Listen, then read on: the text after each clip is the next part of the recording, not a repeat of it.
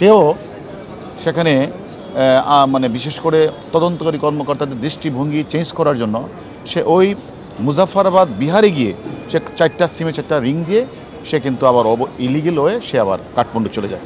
এরকমভাবে বাংলাদেশের অনেক অপরাধী, তারা বাংলাদেশে অপরাধ করে করে কখনো কলকাতা দিয়ে কাঠমান্ডু অথবা বাংলাদেশে সরাসরি কাঠমান্ডু চলে যায়।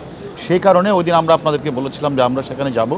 সেখানে গিয়ে আমরা, তারা এখানে কোথায় থাকে, তারা কী কী কাজটি করে এবং আমরা সেখানে কলকাতা মানে কাঠমান্ডুর যে পুলিশ, ঊর্ধ্বতন কর্মকর্তাদের সাথে আমরা কথা বলেছি।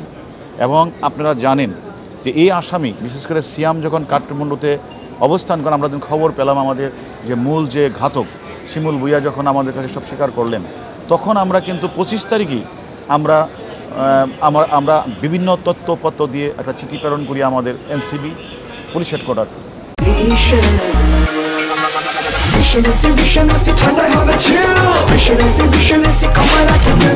Police headquarter সেটা আবার কাঠমান্ডু কাঠমান্ডু যে এনসিবিকে প্রেরণ করে। আমাদের তথ্যপত্রের ভিত্তিতেই আমাদের কা পুলিশ হেডকোয়ার্টারের এনসিবির প্রেরকৃত পত্রের মাধ্যমে কিন্তু কাঠমান্ডু পুলিশ সিয়ামকে গ্রেপ্তার করেছে, এই কথাটা আমাদেরকে আনঅফিসিয়ালি বলেছেন। আমরা তারপরে সেখানে গিয়ে বিভিন্ন তথ্যপত্রের সঙ্গে করেছি বিভিন্ন হোটেল হোটেলগুলি ছিল সেগুলিতে আমরা করেছি। কলকাতা মানে থাটমন্ডু পুলিশে বিভিন্ন স্তরের কর্মকর্তাদের সাথে আমরা কথা বলেছি যে এখানে তাদের সাথে আমাদের ইন্টারাকশন হয়েছে এবং আপনার, আমরা বলেছি যে এখানে এসে কিছু কিছু অপরাধীরা, তারা মানুষকে জিম্মি করে বাংলাদেশে টাকা নিয়ে আসে।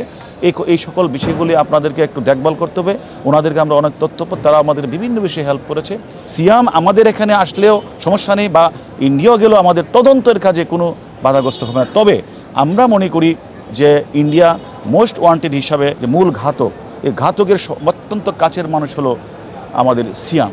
এখন সিয়াম যদি সেখানে যায়, আমি মনে করি ওই যে আলামত উদ্ধারের ক্ষেত্রে সে একটা ভালো ভূমিকা রাখতে পারবে।